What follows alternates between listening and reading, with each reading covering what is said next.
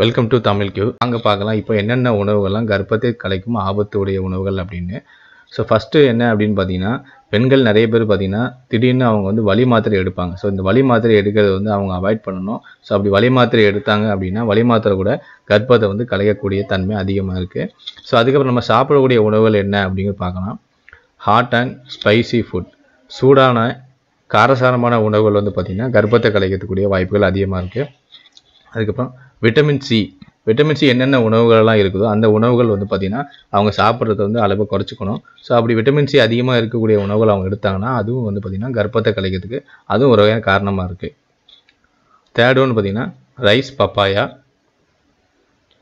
Ginger tea இஞ்சி tea parsley and black pepper juice அதாவது கீரை வகையான ஜூஸ் வெந்தயம் வந்து அதிகமாக எடுத்துட்டாங்கன்னா சாப்பிட்ற உணவுகள் அதிகமாக எடுத்துட்டாங்கன்னா அதுவும் வந்து பார்த்திங்கன்னா கர்ப்பத்தை கலைக்கக்கூடிய வாய்ப்புகள் அதிகமாக இருக்குது பைனாப்பிள் மாதுளை பழம் எள் விதைகள் இருக்கக்கூடிய பீஸா பர்கர் பன் இந்த மாதிரி பொருட்களும் கர்ப்பத்தை கலைக்கக்கூடிய வாய்ப்புகள் இருக்குது எள் விதைகளை வந்து கர்ப்பத்தை வந்து கலைச்சிரும். ஸோ அதனால் இந்த மாதிரியான உணவுகளை வந்து அவாய்ட் பண்ணுங்கள் சாப்பாட்டில் மஞ்சள் தூள் மற்ற வகையில் மஞ்சள் தூள் பால் இந்த மாதிரி குடிக்கிறதெல்லாம் வந்து அவங்க அவாய்ட் பண்ணணும்.